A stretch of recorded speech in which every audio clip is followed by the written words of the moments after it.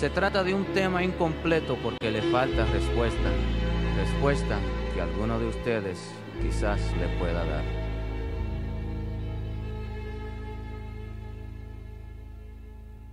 Es un tema en Technicolor para hacer algo útil del amor. Para todos nosotros, amén.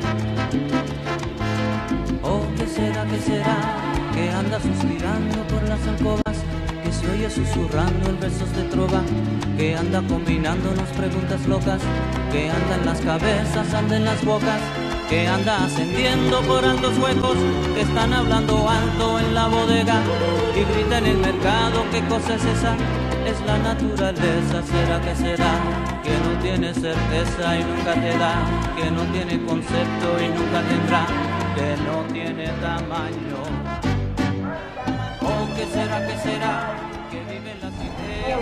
Era amor. Así que yo creo que eso es una propaganda así de sé yo, propaganda para que tú compres cositas. Como desde chiquito te obligan a amar, siempre te obligan a amar a la Amor es gente. por lo que murió Cristo Ah, ok. nosotros. Ah, Eso es, Cristo eso fue, murió. eso es. Eso fue. Nos lo dijeron hace una semana atrás. Vamos a tener lo que citar stickers.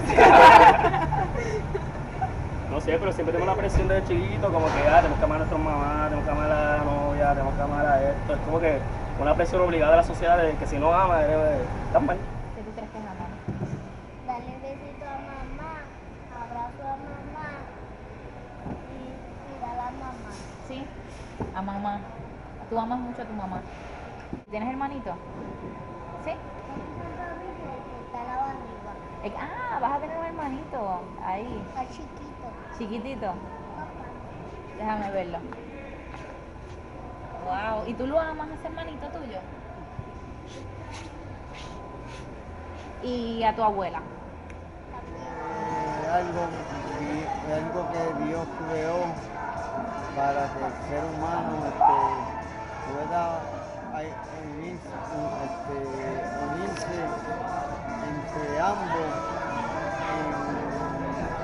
en, más, en más fuerza y en más, y en más finalidad. Pocas personas se puede vivir, vive, vive con amor. Obviamente, eh, si estás hacia otra persona, un sentimiento bien fuerte que no puedes explicar o algo así, que no ocurre muy común, como alguna gente cree que pasa, tienen pareja una detrás de la otra y siempre lo aman. Eso aparentemente no es algo real. No es la novela.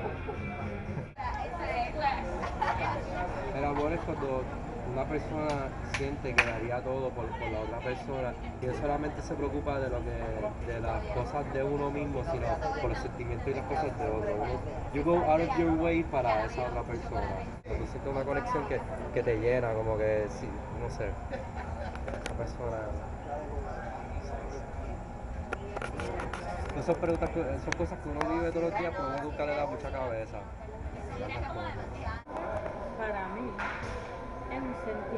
Algo que uno lo siente o no lo siente. A veces tú ves las parejas, puede ser matrimonio de muchos años, puede ser relaciones de amistad o algo, yo te amo y te quiero, pero en verdad no lo sienten. El amor yo creo que es algo de adentro, algo que uno siente diferente. Amor es un sentimiento que está dentro de ti. No sé, de verdad. No sabes qué. Todavía. En eso, una relación homosexual o bisexual se puede considerar amor. Claro. Sí, ya. Y ya.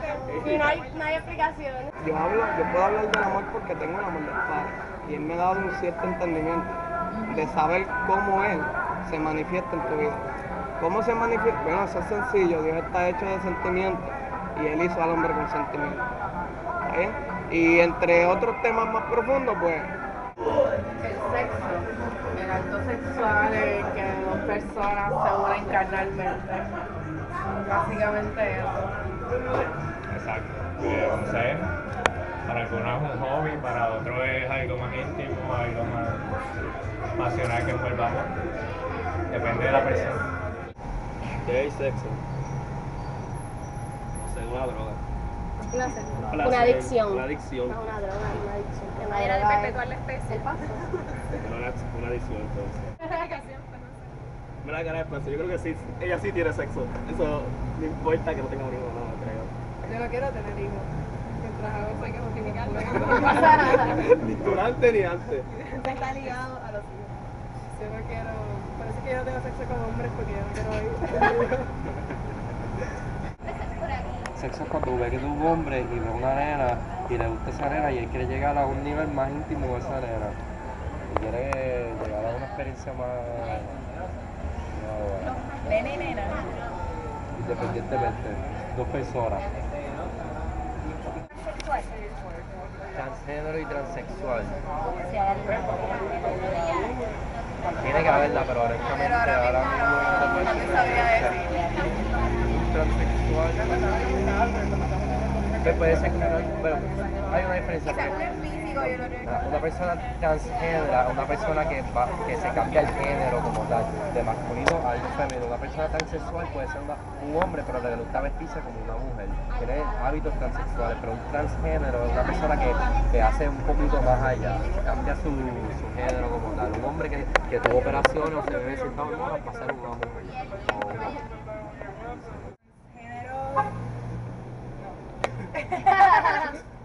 El transexual es el que hace la operación para cambiar de sexo. El transgénero se comporta como de otro sexo, pero no tiene que hacer ningún tiempo de intervención. Como se, exacto, se asume el rol de, de otro género.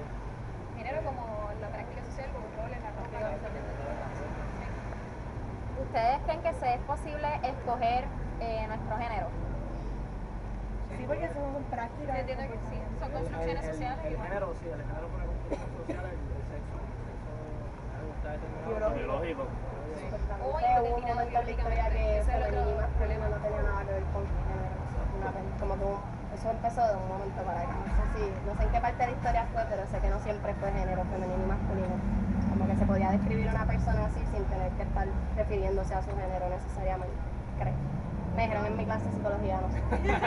Pero la distinción de, de sexo y género tampoco es un fenómeno tan de verdad, es un fenómeno bastante reciente.